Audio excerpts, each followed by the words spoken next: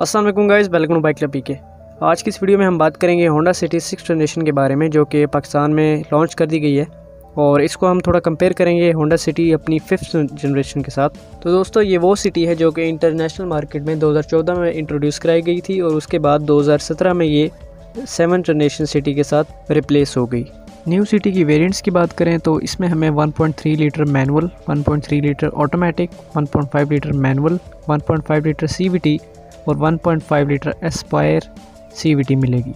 तो new city की अगर हम डायमेंशंस की बात करें तो ये सिटी हमारी ओल्ड फिफ्थ जनरेशन सिटी से तकरीबन 50 मिलीमीटर लेंथ में ज़रा ज़्यादा लंबी है और व्हील बेस की बात करें तो तकरीबन दो इंच इसका व्हील बेस उससे बड़ा होगा। न्यू सिटी में फ्यूल टैंक की पोजीशन को भी चेंज कर दिया गया है, जैसे कि ओल्ड सिटी में फ्यूल टैंक की पोजीशन फ्रंट सीट्स के नीचे होती थी।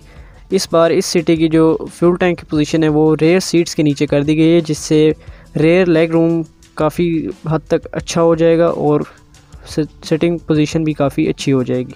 इंटीरियर की बात करें तो इस गाड़ी में आपको मल्टीमीडिया कंट्रोल के साथ सेवन इंचज़ की एलसीडी मिलती है और साथ आपको पावर विंडोज़ मिलती है। इस गाड़ी में आपको क्रूज़ कंट्रोल भी मिलता है और एक और नई चीज़ इस गाड़ी में आपको मिलेगी, वो हैं एयर बैग्स इस गाड़ी में आपको एयर बैग्स भी मिलेंगे, जो कि हमारी ओल्ड सिटी में आपको नहीं मिलते थे।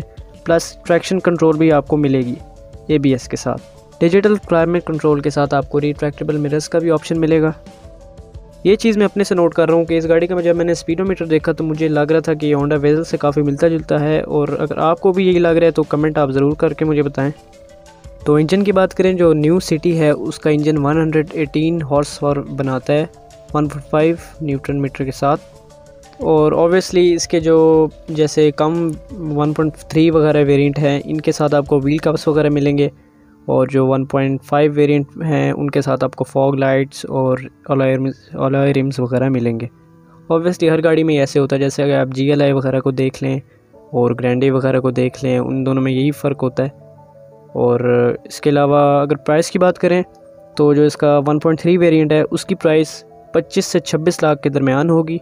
और इसका top of the line variant है 1.5 पॉइंट एस्पायर सी उसकी प्राइस 31 से 32 लाख के दरमियान होगी।